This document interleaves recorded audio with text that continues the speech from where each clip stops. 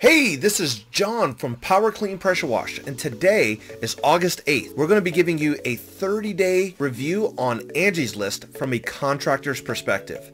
If you want to see more great content like this, make sure you smash that like button for the YouTube algorithm. Let's get started. So Angie's List has a pretty amazing story as far as like how it got started. Like most great businesses, the idea initially came from her own personal needs of trying to find a contractor in the Columbus, Ohio area.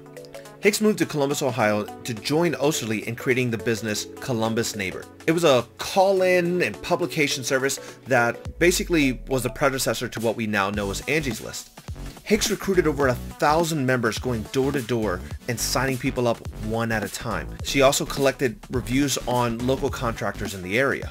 In 1996, they bought the company Unified Neighbors and moved their headquarters to Indianapolis. In 1999, they moved their database from a physical publication and a call-in service to the internet.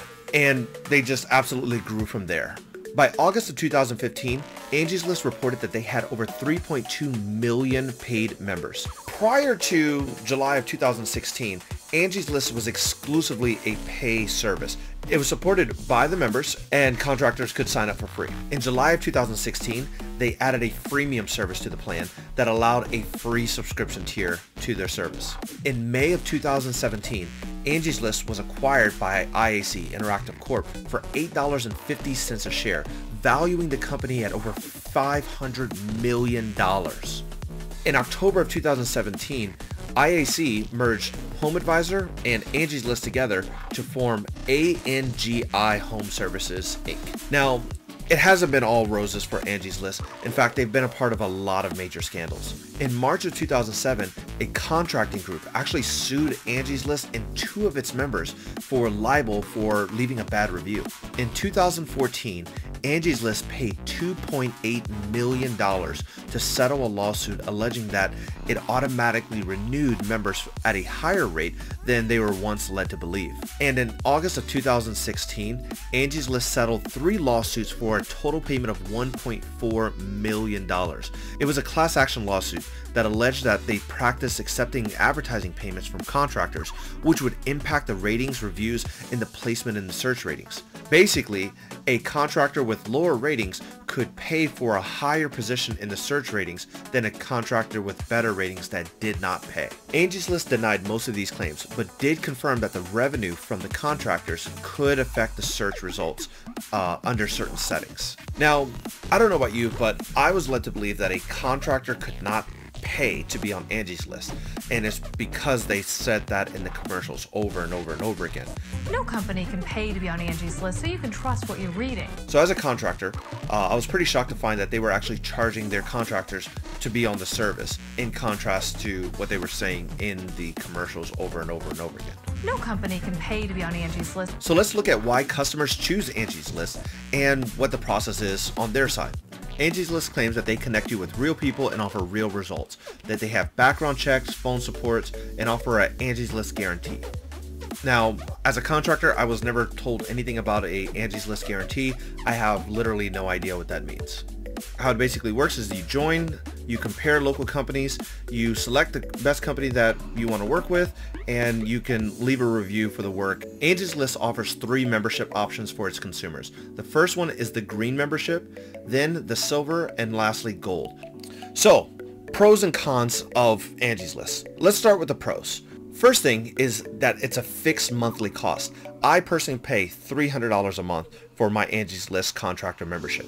I like the fixed monthly cost because no matter what, they're going to be working for me. It feels like an employee just designed to generate leads. The second pro is that Angie's List customers are looking for professionals, not deals. This is really important because when you're advertising on Facebook or Craigslist or Valpak, a lot of those channels are trying to drive discount customers to your business, which means you're going to have to charge less and less and less. Angie's List are customers that are looking for professionals, and you can charge a professional price for your professional services. I found that price is not a huge objection for Angie's List customers. The last pro is that their new free green membership allows for a lot more customers to be able to come in and enjoy the Angie's List experience. This means more customers for them and more leads for me. So I boiled Angie's List down to three major cons that I've personally experienced. The first is that they require you to sign a one-year contract. This can be a lot for a brand new business that's just starting off and they want you to commit to a $300 a month bill over the next year. You're just seeing if this is going to be working for you. It's a hard commitment for a lot of new businesses. You do have an option to cancel, but I believe it's 25% of the remaining contract to cancel the service. Number two, and this is something that they don't really divulge to you. All those free members that Angie List has acquired is also being split with Home Advisor. So some of the leads are coming into you and some of the leads that are placed on Angie's list are being redirected to Home Advisor and its contractors. So you're under the impression you're paying for 100% of the leads. You're really paying for is 100% of the paid member leads and about 70% of the freemium leads or the green tier leads. The remaining 30% is being sent over to Home Advisor, I imagine to add more value to the Home Advisor brand. And the last thing is more of an emotional thing for me. It's that whole no contractor can pay to be on Angie's list. No company can pay to be on Angie's list. In my experience, that's absolutely not true. A contractor can and has to pay to be on Angie's list and see some kind of success. It's not a really big concern. I just don't like that they've touted this for years and that's the message that I got in the branding and I find out on the back end that it's not true. Let's talk about my personal experience and what I've actually done numbers wise. So as you can see here, in the first 30 days, I've got a total of 14 leads. Now, like I said, I spend $300 a month, so those leads cost me $300. That's an average cost of $21.43 per lead. Out of those 14, I was able to close eight jobs. I was able to generate $2,650 of revenue. That's an average of $331 per job. Now, to Angie's List defense, I was still very new. I still am very new in the contracting world, and I'm still understanding the bidding process. So take those numbers with a grain of salt and know that an experienced contractor is going to be able to get more because they're going to be bidding more. Over the first 30 days, I was getting about one lead every other day, and I was able to close about 50 57% of all the leads I was given. When you break down the cost per lead over the average revenue per job, a lead effectively cost me about 11% of each sale. So let's summarize this whole Angie's List experience. The first thing that you have to know is that Angie's List is not guaranteeing jobs. They're guaranteeing leads. This is very important because I've seen a lot of information out there bashing Angie's List, talking about how they're not creating jobs. It's a scam. It's this and that. The first thing you have to do is realize you're not paying for jobs. You're paying for leads. Don't go into Angie's List thinking that you're paying for jobs. It's not it. There's still sales and marketing that you're going to have to do on top of that. Mainly sales. You you do have to close the job. And this is why I focus on things like close rates. I want to understand those metrics metrics so that I can make sure I'm maximizing every single opportunity. The next thing I would recommend to anybody that's joining Angie's List is make sure that you have the time and energy to dedicate to the platform. You don't want to set it and forget it. It doesn't work that way. You have to set it and you have to maintain it and you have to monitor it. So make sure that you train your staff on how to monitor it. Make sure you train them on how to respond to leads, how to follow up, transferring that information to your CRM. After the job's all the way done, you're requesting reviews. It's a process that you have to maintain. So I wouldn't recommend anybody to join Angie's List if you're not ready for that process. Next, if you're thinking about joining Angie's List, make sure you're charging professional prices. Angie's List is, again, designed for professionals, or if you're charging bottom tier rates, that is going to be very expensive when you tie in what Angie's List is going to cost. Angie's List is not cheap, and it's designed not to be cheap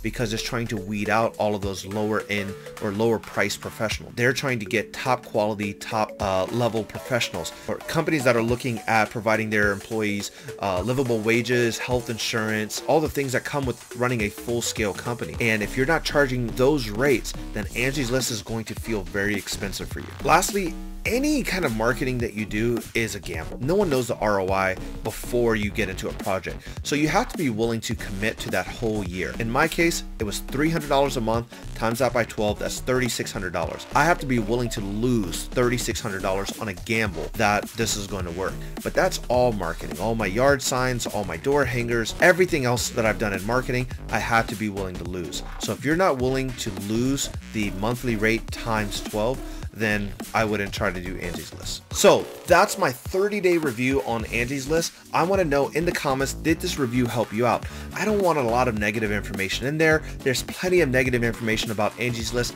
I want to know, did this video help you? Did you learn something that you didn't already know about Angie's List? And did it help you decide whether you're going to do them or not? Drop a comment below. Are you going to use Angie's List for your contracting services? And did this video help you out? Make sure you smash that like button for the YouTube algorithm and make sure you subscribe too because I'm going to be dropping my 30 day review of Home Advisor in a couple days. Thank you for watching and I'll catch you on the next one.